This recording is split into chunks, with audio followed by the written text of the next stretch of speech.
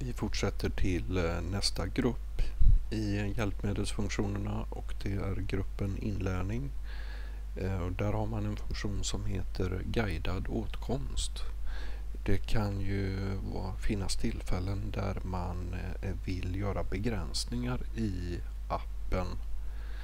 Och det här kan ju gälla förutom barn naturligtvis äldre som är ovana vid plattor, eh, förståndshandikappade och andra. Men att man vill eh, att personen ska använda appen men inte, att inte av misstag eh, göra något som man inte ska göra i appen. Och eh, med den här funktionen så låser man också plattan till just den här appen. Jag klickar på den här. Och då eh, är guidad åtkomst aktiverad där. Sen har man då möjlighet att eh, ställa in en lösenkod för detta.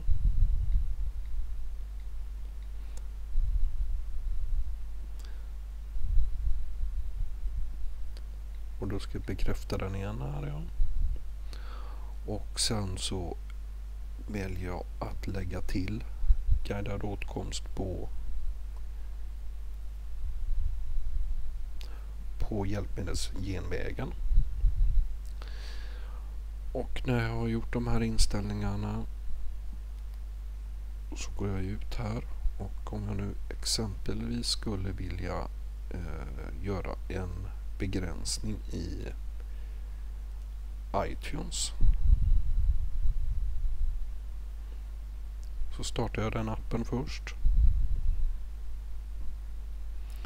Och sen trippelklickar jag på hjälpmedelsgenvägen och klickar på en guidad åtkomst. Och här får jag då fram eh, lite olika val att göra. Längst ner här så ser ni att eh, man kan göra begränsningar i Eh, knapparna här. Vilka man vill avaktivera. Eh, jag kan göra begränsningar på att eh, vad man inte kan trycka och rörelse och det är just att förhindra att plattan vrider sig. Alltså roterar i horisontellt eller vertikalt läge. Men det viktigaste är kanske att man kan välja exakt vilka eh, områden man kan avaktivera i appen. Och Det gör man genom att eh, rita en cirkel runt det området man vill avaktivera. Skulle jag nu vilja justera detta så kan jag ta tag i de här plupparna här och utöka området. Och jag väljer då att starta den här aktiviteten. Och som ni märker här nu då så kan jag inte komma åt de här olika flikarna här uppe. Det, här, man kan, det finns egentligen ingen begränsning hur mycket man avaktiverar i appen. Men det är ju ändå viktigt att eh, appen fyller sin funktion i just inlärning om det är det man är ute efter. Eh, när man har gjort den här begränsningen också då så kommer man inte ur appen. Eh, så trycker jag en gång här så får jag uppmaningen att jag ska trycka tre gånger för att komma till hjälpmedelsgenvägen. Där väljer jag guidad åtkomst. Och jag måste också ange den här lösenkoden då. Då gör jag det. Kommer då fram eh, till eh, guidad åtkomst-menyn där jag kan göra ändringar eller om jag nu vill komma ur detta så tar jag avsluta. Och då är ju alla flikar aktiva igen. Vi tar och återvänder till inställningar och hjälpmedelsgrupp och den allra sista gruppen här är för personer med eh, fysiska eller motoriska eh, hinder. Och eh, det är väl den stora nyheten eller förbättringen i förhållande till tidigare operativsystem. De här funktionerna bygger ju på att det är personer som inte kan hantera gester och att inte hantera skärmen utan man, man styr plattan via antingen externa styrhjälpmedel och det kan ju vara i form av eh, knapptryckningar, alltså man har stora knappar som man trycker på eller att man eh, styr plattan via joystick. Det finns eh, en mängd olika styrhjälpmedel eh, liksom man kan styra en dator utan att vidröra tangentbordet eh, kan styra plattan. Då finns det eh, den första gruppen här, reglagestyrning. Och eh, då kan man välja växlingsknappar till exempel. Och om man nu väljer att lägga till en så eh, det som är nytt i iPaden och eh, förenklar förenklade det är just att man använder iPadens egna verktyg också om man nu inte har någon extern. Och då kan man använda kameran exempelvis. Och här har jag två val då, antingen om man lutar huvudet åt vänster eller åt höger. Jag väljer detta. Sen har jag då möjlighet att välja vad som ska hända när jag gör detta. Och om jag då väljer att jag får upp appväxlaren där.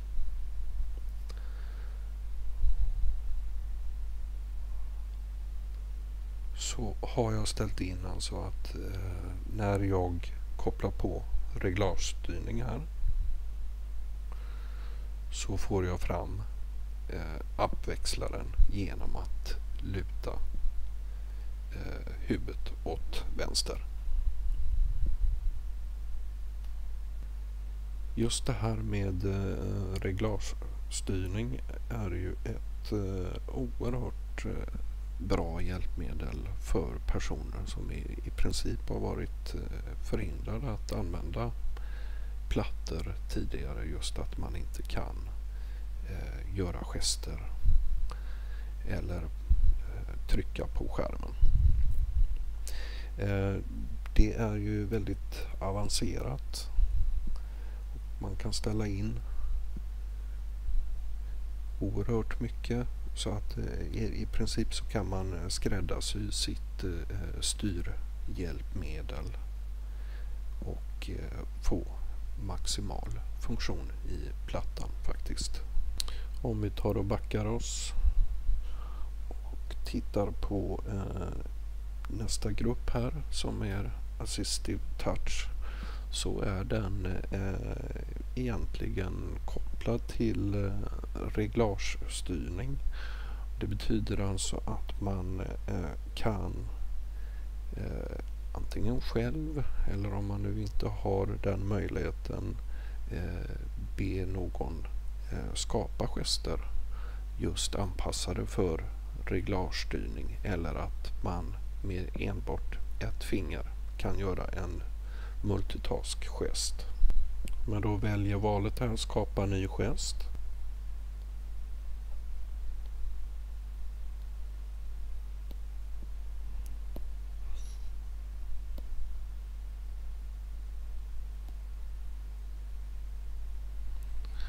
Och så eh, väljer jag att stoppa. Och då kan jag spela upp den här gesten.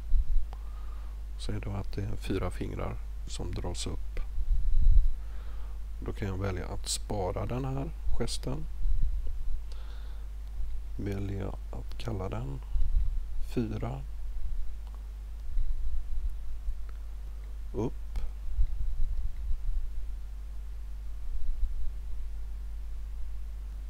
och spara. Då har jag sparat den här gesten. Jag skulle kunna göra en ny gest genom att knipa med fem fingrar. Vilket betyder gesten för att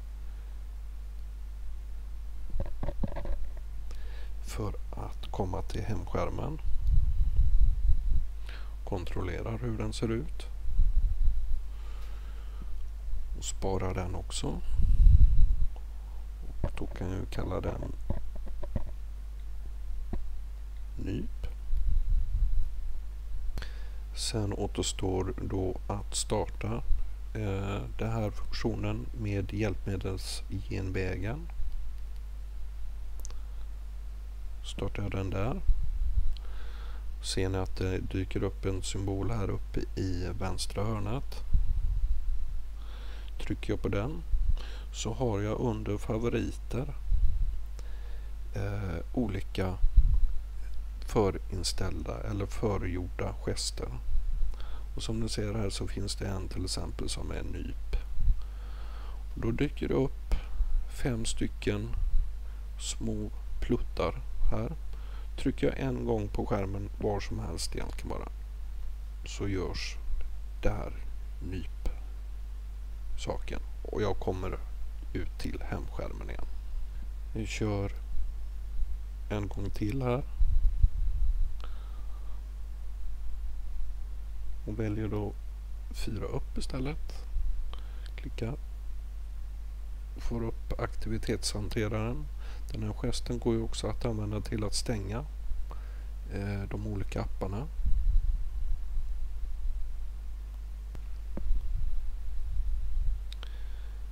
Det finns ju också eh, färdiga funktioner att eh, kunna styra enheten. Men som sagt, det viktiga är kanske att man vill göra sina egna gester utifrån de behoven man har. Eh, till sist ska vi bara påminna om hjälpmedelsgenvägen här. Där man då väljer vilka Eh, hjälpmedelsfunktionen hjälpmedelsfunktioner man vill ha genom att trippelklicka på hemknappen. Och här väljer man då det hjälpmedel man vill aktivera eller avaktivera. Glöm inte det framförallt när ni använder VoiceOver.